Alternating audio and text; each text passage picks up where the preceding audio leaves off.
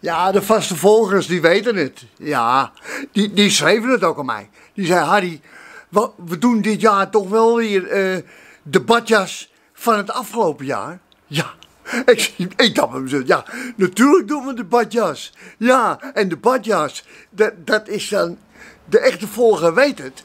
Dat is zeg maar de oliebol van het jaar, maar dan 2.0. Dan ben je een badjas, ja.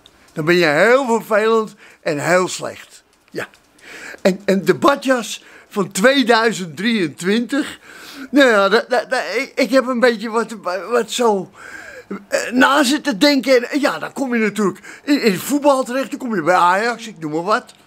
Ja, er zal toch wel iemand bij Ajax zijn die, die badjas 3 2023 is. Ja, is het niet Van der Sar, dan is het wel die Hendricks, dan is het wel iemand in die raad van commissarissen.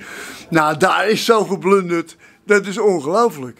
En, en, ja, en, en, en klimaatkneuzen bijvoorbeeld. Die- een, van die mensen van die klimaatkneuzen die op die A12, A10 hebben gezeten.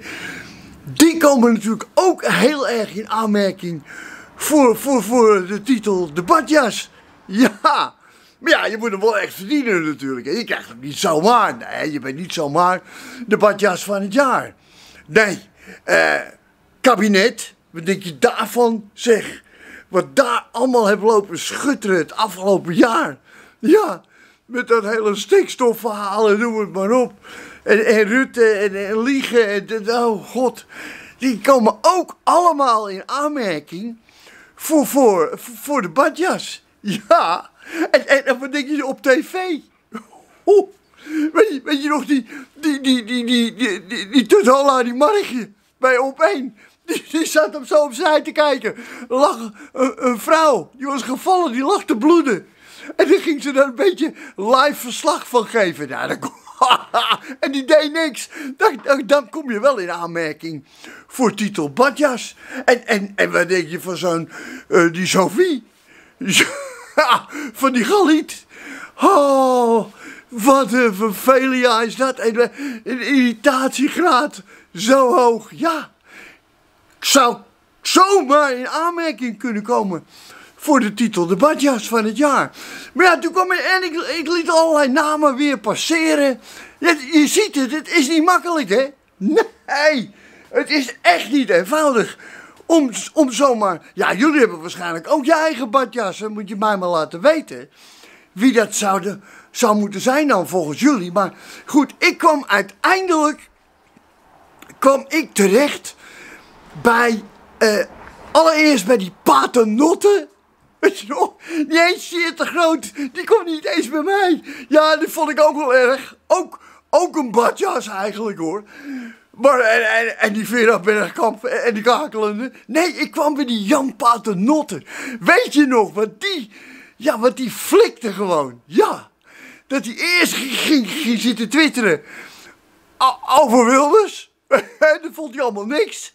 En stiekem achter iedereen's rug ging hij die Wilders bellen om te vragen of Wilders een motie van wantrouwen wilde indienen tegen Rutte. Ja, en dan konden zij hem wegstemmen.